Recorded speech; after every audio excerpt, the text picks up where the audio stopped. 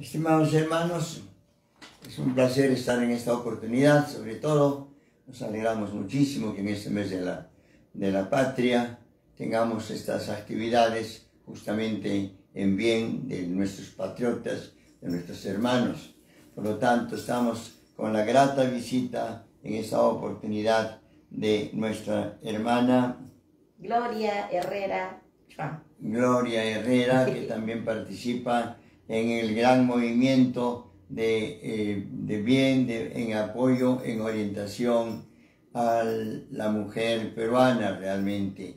Por lo tanto, hemos de también pensar en este tiempo en que hay tanta violencia a la mujer, cuando nosotros honramos a la Madre de Cristo y la Madre María es nuestra Madre también, y lo que este, hemos de siempre respetar el valor de la mujer, pues también hemos de apoyar.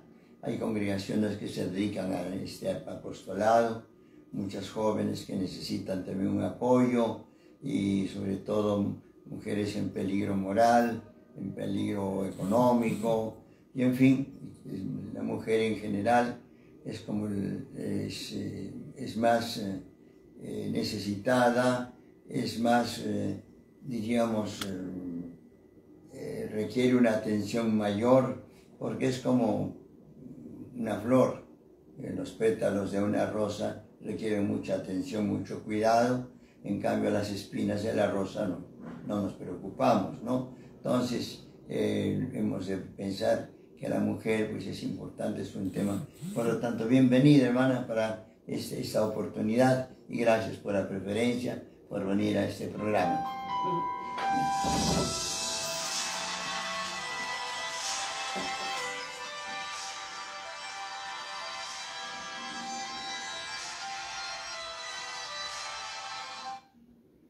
Gracias Padre por recibirme y en nombre mío a la Asociación Sin Fines de Lucro Mujer, Vida y Propósito, quienes estamos eh, dando inicio estos espacios de formación para la mujer. Y hemos querido empezar este espacio eh, pudiendo realizar un estudio y reflexión sobre la encíclica Mulieris Dignitate que escribió el Papa eh, Juan Pablo II. Eh, y qué mejor padre que él nos pueda compartir pues un sacerdote que es formador allá en Colombia de los padres eudistas, que es el padre Carlos Jiménez, quien nos va a acompañar este domingo 14 eh, de julio eh, y eh, vamos a estar desde las 9 hasta las 5 con momentos de reflexión, meditación, de oración. Vamos a estar un momento frente al Santísimo pidiendo la restauración y sanación del alma que cuántas veces ha sido maltratada, ¿no? Y luego otro momento de reflexión y cerramos todo este espacio con una misa, ¿no? Bien, nos ha alegrado mucho, creo que son iniciativas muy interesantes y necesarias, realmente. Hay dos eh, direcciones, si se quiere, en nuestras vidas, la, eh, lo que se nos dice pues también en la Biblia, ¿no? Este, hay hambre de pan, pero más hambre de Dios. Eh, así también en el hombre hay dos direcciones, el hambre material, la situación material, física, somática, corporal, si se quiere, pero también la dimensión espiritual, que también requiere una mayor orientación, porque el hombre es sobre todo pensante, el hombre es espiritual, el hombre tiene esa dimensión trascendente y por lo tanto está muy bien con este gran movimiento que se llama Mujer, Vida y Propósito y también sobre todo la preocupación por la dignificación y orientación a este elemento femenino. Gracias por esta oportunidad y ojalá pudiéramos concretar y continuar también sobre todo con, no sé si el padre eudista Carlos Alberto Jiménez, ¿no? Sí. Entonces, bueno, que creo que lo conozco, no sé si estuvo en Tacna, pero realmente es interesante que este, sigamos con estos apostolados. ¿Tiene algo concreto que se tenga que hacer específicamente sobre esta, este movimiento? Bueno, nosotros estamos haciendo muchos trabajos desde que empezó la pandemia, porque así nació la asociación, padre. Queríamos ayudar, no sabíamos cómo, y bueno, nos fuimos reuniendo un grupo de amigas, porque así nació esto, y empezamos a, a preparar bolsas de alimentos para llevar a aquellos que pues pedían ayuda, ¿no? Empezamos allá en Manchay, en una asociación para personas de adultos mayor discapacitados. Y empezamos allí, luego hemos ido al Agustino, a Huachipa mm. y a tantos lugares donde pedían ayuda. Y bueno, humildemente juntábamos lo que nos solicitaban. Y, y, luego hemos comenzado a dar la parte espiritual también, ¿no? Hemos generado muchos retiros virtuales gratuitos, solo tenían que inscribirse y agradecer a todos los ponentes que pusieron el hombro y no, no nos cobraban nada, se unían a esta causa de, de llevar un aliento de esperanza a tantos que en esta pandemia hemos sido golpeados, ¿no? Mucho en la fe, en la esperanza y en el amor. Pero qué importante que todos estos ponentes de manera generosa venían pronto, ¿no? A recordar de que Dios estaba con nosotros y que Él nunca nos soltaba, ¿no? Gracias, muy bien. Creo que eso se debe fomentar esperemos que eso también siga. Por lo tanto, estimados hermanos radioyentes también, procuren interesarse y tal vez en sus parroquias motivar, porque entiendo que cualquier actividad que se pueda realizar este, puede ser un poco mm, a donde haga falta, evidentemente, ¿no? Pero eh, generalmente se canaliza ya, así a nivel de la diócesis, con el arzobispado, a nivel del Perú, mediante la conferencia episcopal, y mediante las parroquias, mediante la, las casas que se tengan, los lugares, porque la parroquia efectivamente es el, el, elemento en el que conviene eh, que se desarrolle más cualquier actividad y realmente tiene más éxito para no estar tal vez un poco buscando dónde, dónde buscar un trabajo. Ya las parroquias también tienen y es bueno tal vez contar con ellos y nos ayuda mucho mejor, ¿no? Entonces, gracias, creo que esto es, ojalá en Manchay me dicen qué parroquia era por allá, en los otros sitios también, es bueno para que así también para la parroquia pueda, contar con ustedes. Nos dieron un buen consejo nos dio eso el padre eh, Rafael Reategui, ¿no? Nos dijo, siempre trabajen con parroquia. Y es lo que hemos venido haciendo todo este tiempo, ¿no? Eh, ahora último hemos estado en Lurín apoyando a los monjes benedictinos que Monseñor Carlos allá en Lurín les ha confiado ahora una capilla eh, en Santa Rosa, en el fondo Santa Rosa. Y ahí hemos estado, ¿no? Llevando alimentos y bueno, más adelante quizás ya apoyando en otras actividades. Y así, Padre, estamos caminando lentamente buscando que ayudar, ¿no? En un tiempo donde todos podemos poner el hombro, ¿no?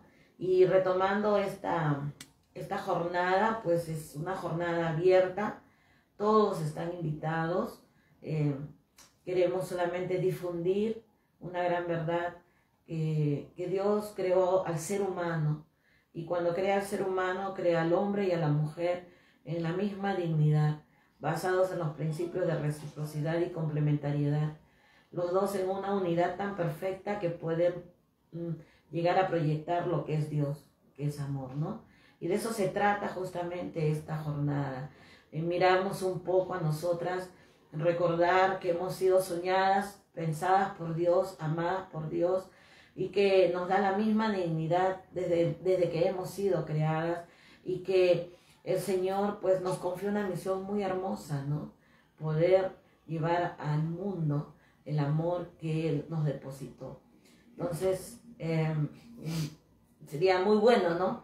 Que todos puedan ir. Y no es lejos, Padre. Esta jornada se va a realizar en las sedes de OMP, en las Obras Misionales Pontificias, Mm. acá en eh, Mariscal Miller, 1524 Lince, que está cerca a la puerta de emergencia de salud mental.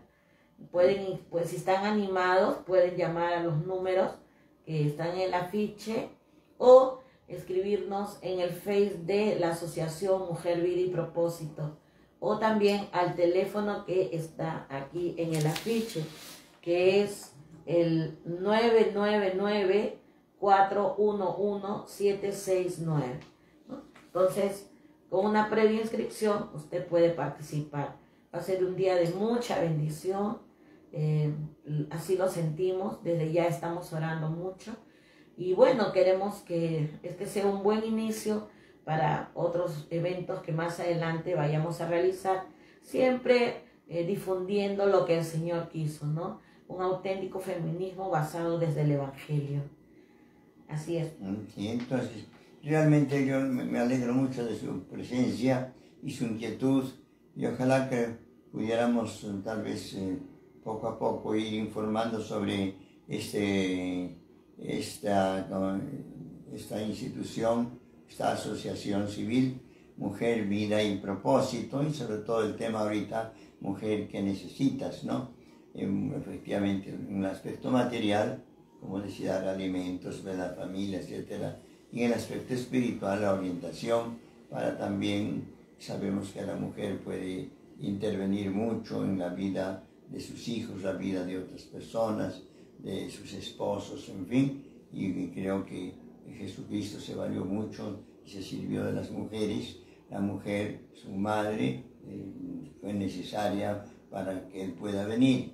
Y a través de la mujer, también con la mujer trabajó, le apoyaron muchísimo hasta el final. Y la Virgen María, una mujer, lo enterró también, lo, depositó en el sepulcro. Por lo tanto, la mujer tiene una función muy trascendental en la vida cristiana, la vida religiosa. Y fue un grupo de mujeres que reconoció que Cristo había resucitado y salió a sí. a Sí. todos los pueblos. Sí, sí, sí, pues efectivamente María Magdalena es la apóstol, se la ha considerado porque ella fue la que anunció la resurrección de Cristo, ¿no? Bien, así sigamos a ver hay otras Marías Magdalenas, o, o- diríamos, o convertidas o vírgenes como María y otras vírgenes también, pero, pero de todas maneras el elemento femenino. Gracias hermana por esta iniciativa y podríamos eh, tener en lo sucesivo algunas oportunidades, sobre todo el desarrollo de actividades que vayan, vengan realizando. Claro, yo le invito a Padre a que pueda hacer una transmisión en directo esos días en la jornada desde su canal para que mucha gente pueda escuchar esta verdad, porque es una verdad que está en el Evangelio, ¿no? Bueno, lo Sí. que se puede hacer es, ustedes tengan su, su transmisión seguramente y nosotros la tras- es. la- como llamamos, la difundimos, ¿no? No hay problema, ¿no? Ahora, el que vaya una persona expresamente es posible, pero no siempre, ¿no? De todas maneras, ahora ya es- las redes nos permiten hacer Amén. también esta, este, este reenvío o captación para que otras personas también este, reciban, ¿no? Aunque bien, gracias, participaremos entonces. Así es, Aquí Padre. nuestra hermana Miriam, que siempre nos acompaña y, ta- y transmite, pues también hará lo mismo, ¿no? Amén, Ya. Padre. Gracias, Gracias. pues, entonces por su visita, si hay alguna cosa, algún mensaje especial a nuestros eh, radioyentes, a aquellos que nos escuchan. Eh, un mensaje especial es recordar que todos hemos sido creados a imagen y semejanza de Dios y que lo mejor que pudo haber hecho Dios en nosotros, además de crearnos, es infundir su espíritu sobre nosotros. Y ese espíritu es el que nos debe de alentar siempre a mantenernos firmes, a resistir todo tiempo de prueba y tribulación, creyendo que el resucitado va con nosotros. Caminemos así, con esa certeza de que Dios está en la barca de nuestras vidas. Amén. Amén. Bueno, gloria al Señor. Alabemos entonces al Señor. Señor, te alabamos y te bendecimos por tantas cosas buenas que hay en el mundo y por ti, Señor, que eres nuestro Creador. bendito seas. Bendito seas, Señor. Gracias, Señor, por esta, esta- estas inquietudes, estas preocupaciones y por este grupo de hermanas de, de la Asociación Mujer, Vida y Propósito que se preocupa de atender en forma muy especial a la mujer en sus necesidades materiales y espirituales. Y también te pedimos nos ilumines para que este grupo de personas también, en ese tiempo en que hay mucha violencia contra la mujer, pues podamos, podamos hacer algo para subsanar y evitar o prevenir estos abusos, estos, estos, eh, estos pecados, diríamos, en la- nuestra sociedad. Y sobre todo, queremos, que nos, te ofrecemos nuestro compromiso, nuestro también deseo de seguir trabajando en este sentido y en este apostolado. La religión honra mucho a María en todas las advocaciones, formas y por tanto, porque ella misma anunció y dijo, me llamarán bienaventurada todas las generaciones. Y ella es la que ha intercedido justamente en las bodas de Caná, en otras oportunidades, y está en la misma, en la misma concepción de su Hijo Jesucristo. Ella ha intervenido, incluso hágase en mí lo que me estás anunciando. Entonces, hermanas, hermanas, gracias por su presencia. Gracias, Y a ustedes, eh, radioyentes también, eh, les pedimos que este, conozcan este valor y también cuando este programa es asesorado por el Padre Eudista Carlos Alberto Jiménez, apoyemos también estas obras, estas iniciativas. Y felicitaciones por este Padre Eudista Carlos Alberto, porque realmente son iniciativas, son apostolados bastante útiles en nuestra iglesia. Paz y bien, hermano. Paz y bien, Padre. Gracias. Right.